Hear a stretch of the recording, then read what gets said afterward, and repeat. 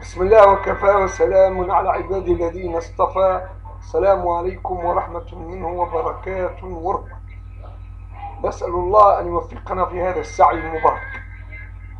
وأحذر خاصة الشباب من الخلوة سواء كان من الرجال أو من النساء مع الجنس الآخر.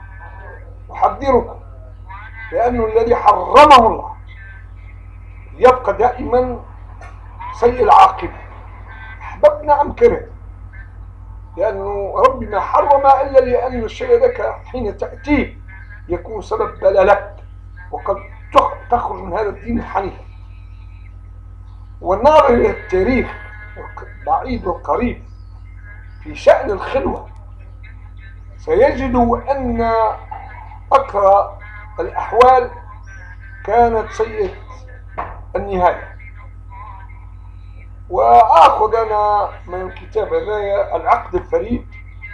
أنا قصة واحدة ما متكرر قصة كفتاة أنا عاشقة أنثى في جبل.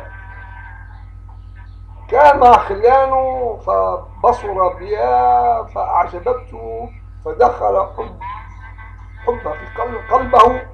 وأراد أن يقترب منها وتحايل ووصل حتى مخدعها وهي نائمة بين خويها وكان من جرأتي ووقاحتي وسوء طلعي أن أيقظها وطلب منها أن تناوله يدها هذه المرة الأولى الليلة الأولى. الليلة الثانية ولكن مسألة قبلة أو قبلات فطن أهل ذلك الجبل بالعملية تكررت.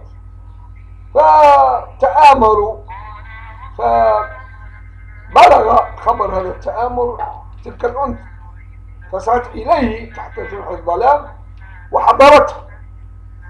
فما كان من هذا الرجل إلا أن أحضر سيفه وجلس في مكان يعني لا يراه أحد خاصة الليل. وكانت لما أمطار وقتها تأخر تأخروا عن الموعد المتفق عليه. فحين انقشع السحاب وظهر نور القمر رأى أنا كما تقول خيالين فحسبهما من العدو. فأخذ سيفه وضرب الأول. قتلت الأنثى ذيك بالذات. جزاء فعل يعني أنا خانت أمانة أهلها. إن الله لا يهدي كيد الخائنين وهذا دائما نحضر الإناث خاصة هذا العصر. من هذه الآيات المفزعة المهينة وربما تقذف في في نار جهنم. وهربت الأخرى كانت خليلة لها وتكتم سرها على ما أشيع في ذلك. لكن حين من فحص الجثة وجد معشوقته فماذا قال؟ هذا من سوء تدبيره ماذا قال؟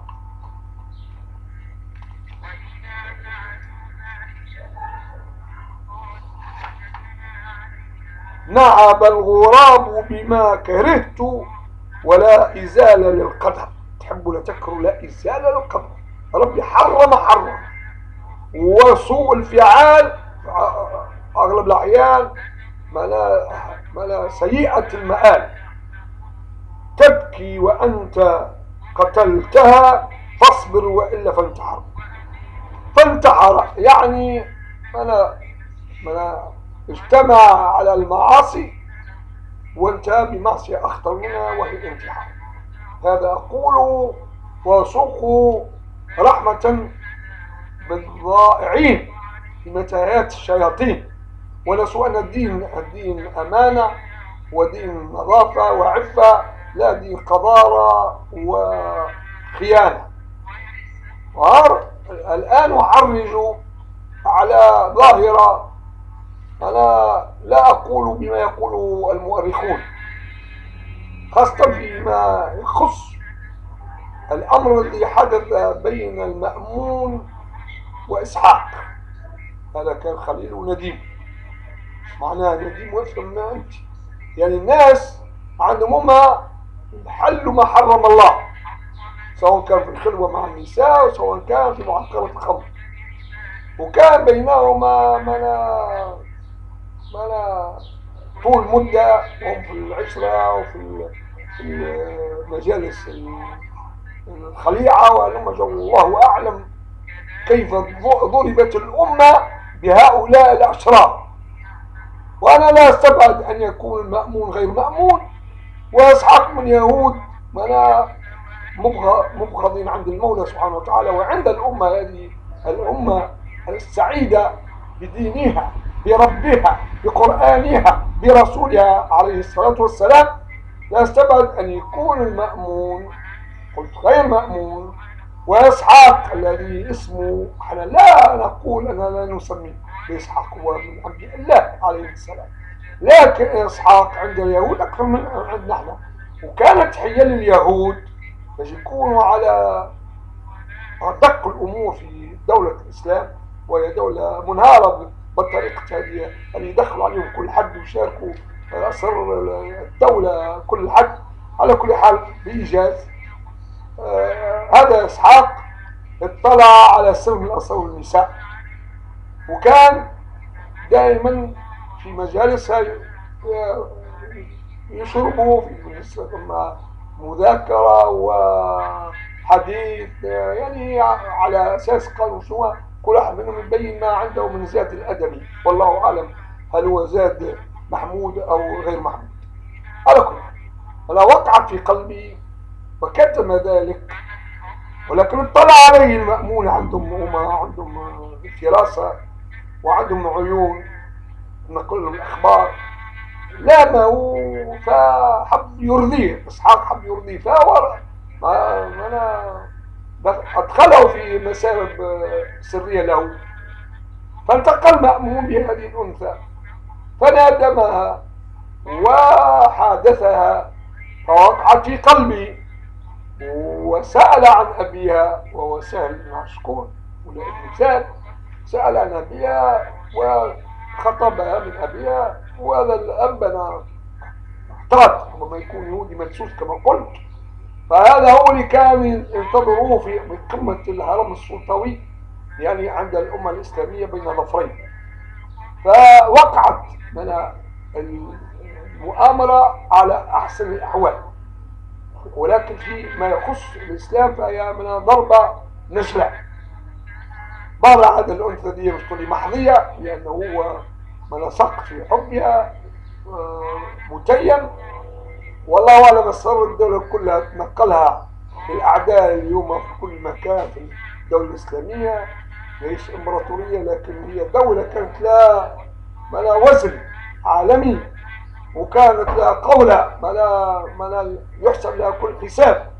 لكن إذا كان في عصر المأمون يقع هذا فما بعده أشر وأدهى. والآن حتى الآن كم من إنسان عم روحه ديمقراطي وعم روحه يرضي في, في العباد وهو يسخط في رب العباد. كم من إنسان في المغرب العربي أو في الشرق ليس له صلة بالإسلام الحقيقي ويدخل على أسرار الدولة ويدمرها من داخلها ولا رأينا في مصر الأيامات الفارطة كيفاش وصل كلب من كلاب الكبار المنسوسين على الإسلام واسمه سيسي الكلب الخنزير كيفاش معناه وصل يخبر الناس حتى إخواننا الله يهديهم لم يتفطنوا إلى مرضه ولم يتفطنوا إلى خبثه وأعطوه مركز حساس باش يكون وزير لكن حقيقة عميل وباش يجي يخطط بما أنه خبير في المخابرات يعني يعرف كيفاش يهدها الدولة فكان مكان ولحد الآن لا شرع الله يعمل به على مستوى الدولة ولكن ظني في إخواني حسن أن يراجعوا أمورهم ويهيئوا الأمر الذي يسهل عليهم به النجاح والفلاح. فيأتي النصر على حساب السيسي ومن من اتبعه في الضلالة وفي النفاق والخداع. وأقول للشرق والغرب الذين يراهنون على أمثال هؤلاء آه، الشياطين المجوسين أنا في جسم الأمة أقول لكم لم تفقهوا شيئا من تاريخ الإسلام فهو كما كما حصل في الماضي. يصبح رماد ثم يرجع بأمر ربه. عتيدا مجيدا قاهرا لأعدائه وهو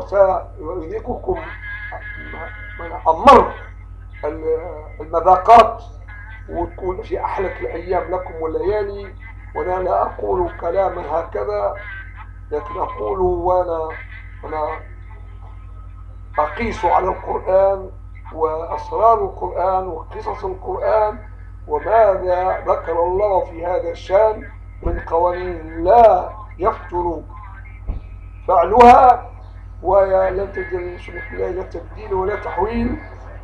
هيئوا أنفسكم لأفضل من وأحلك الظروف فسترون من أحرار الإسلام وحرار الإسلام ما لم يكن في الحسبان والسلام على من اتبع الهدى.